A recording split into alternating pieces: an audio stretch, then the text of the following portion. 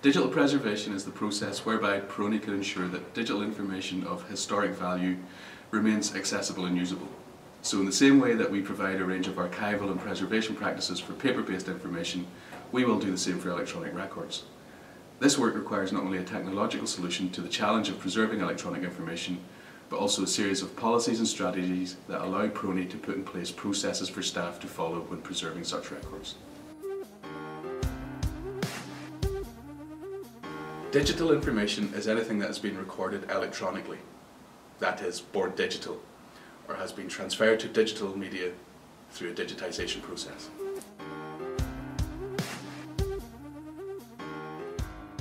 Under the terms of our primary legislation, the Public Records Act NI 1923, PRONI is required to provide a place of deposit for records of enduring historical value.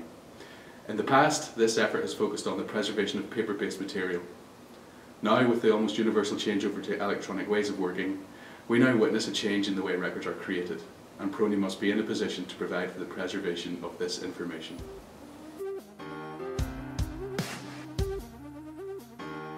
The project is due to be completed by the end of March 2015. The core preservation elements are currently being tested and the main area that is outstanding is our access solution which will make use of our existing systems.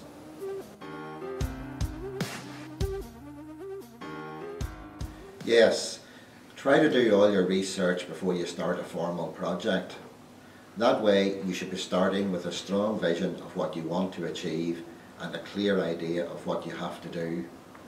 That should certainly make the planning process easier.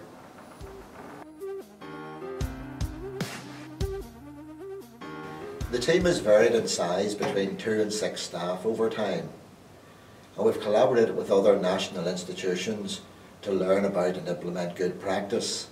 For example, National Archives of Ireland, the National Archives in London, the National Records of Scotland.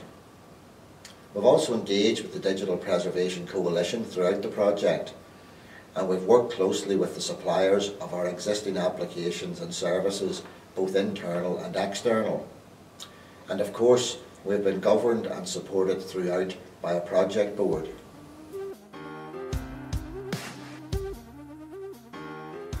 Recent years, PRONI has recognised that websites are of cultural importance and should be preserved. So for over five years, PRONI has been working with the Internet Memory Foundation in selecting and harvesting websites and storing these sites in its web archive. PRONI plans to make its web archive available to the public through its website in 2015.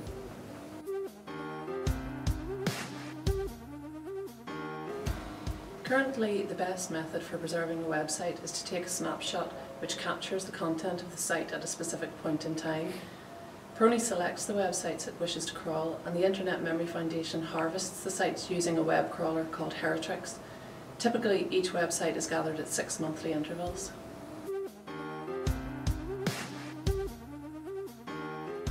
We quality assure each website by checking for broken links, missing content and documents which can't be opened to ensure that the archived website is complete as possible there are some technical limitations which prevent the web crawler from capturing certain types of information, for example drop-down menus, searchable databases, interactive and animated features, external links and social media content. There are challenges to be faced in web archiving, but improvements in web crawling technology mean that capturing the entire content of websites for archival purposes is becoming increasingly more feasible.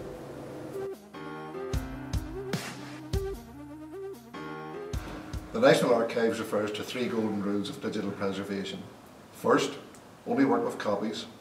Second, ensure that the digital records received into the digital preservation process are unaltered. And third, document actions and processes. PRONI use only working copies of records and depositors must not delete their records until notified by us that they are safely in the digital repository. Through use of established methods and software, we ensure that deposits remain secure and unaltered within the repository. We will continue to develop processes and record actions on the records from the outset as this is vital for future preservation planning. Preserved records may also be required for use as evidence, for example in public inquiries. We use a suite of tools to aid in the preparation and preservation of records such as TreeSize Professional, low-cost proprietary software used to create a summary and inventory of records and to create initial checksums prior to transfer to PRONI. Another tool is Bagger, open source, created by the Library of Congress and used by PRONI to bag records for transfer to and within PRONI systems. Bagger also uses checksums to ensure data remains unaltered. Droid, developed by the National Archives, is a digital record object identification tool which allows us to generate a report on file types within a deposit, including software and software versions used to create many digital records. A vital tool is the in-house developed Basic Data Preparation Workbook, which automates various laborious tasks such as file name and path length checking, as there are limits imposed by Microsoft operating systems. Calculation of unique digital preservation identifiers, which are used throughout the digital preservation system, the in-house catalogue and public-facing systems such as CALM and the online catalogue. Pulling together metadata from various sources such as the inventory, Droid, Bagger and manual inputs, then bagging once more with further checks on validation against original inventory values. Finally, data preparation and archival storage are the formal in-house developed systems used to validate data on upload from source, update file format registers with Droid and format risk data, generate metadata objects for all digital records and populate a SQL database, package data securely for transfer to and between systems, perform scheduled validation checks, and finally, data management functions such as object access auditing, backup and replication.